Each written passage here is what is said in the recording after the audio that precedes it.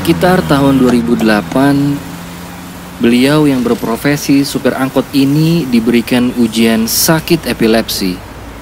Awalnya kejang-kejang, lalu mendadak hilang kesadaran dua jam sekali ketika membawa angkotnya. Qadarullah, kecelakaan pun beberapa kali dialaminya. Bukannya membawa nafkah ke rumah, hasil perjuangannya nyaris habis untuk mengganti rugi angkot yang diawakinya. Istrinya membujuk beliau untuk meninggalkan pekerjaannya demi ikhtiar menghindari lebih banyak kecelakaan yang juga membahayakan orang lain. Ikhtiar pengobatan pun dilakukan, mulai dari totok syaraf, herbal, hingga hampir-hampir terjerumus dalam kesyirikan.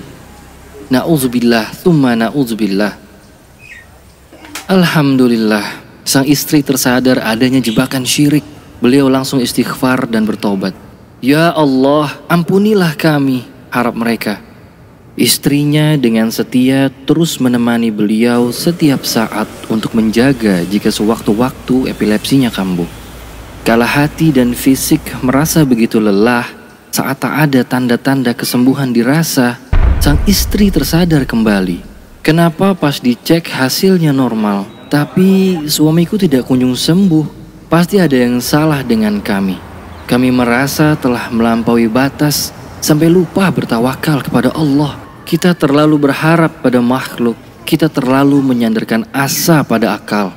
Penyakit itu kan yang menakdirkan Allah. Pasti Allah yang menyembuhkan.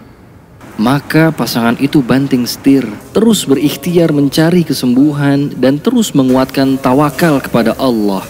Banyak-banyak memperbaiki hubungan mereka dengan Allah lalu memohon kesembuhan jasmani sang suami. Alhamdulillah setelah sepekan, sebulan, tiga bulan, setahun, perlahan beliau sembuh total. Allahu Akbar. Kesembuhan suaminya mengundang heran kerabat hingga bertanya kepada mereka, pengobatan apa yang diambil sampai sembuh total dari epilepsi? Sang istri menjawab, obat utamanya adalah yakin kepada Allah karena Allah yang Maha Penyembuh.